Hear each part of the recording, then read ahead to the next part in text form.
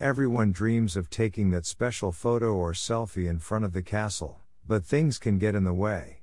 Like any other attraction at Disneyland, the castle sometimes closes for maintenance, renovation, or upgrades.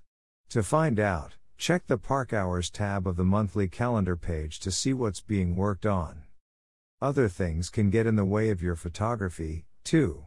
The entrances from both sides are blocked off about an hour before the evening fireworks, and people line up along the sidewalk in front to wait for the parades to happen. But there's also good news and more hidden things to check out. If you are approaching the castle from Main Street, USA, veer to the right, and you'll find a wishing well and Snow White's grotto.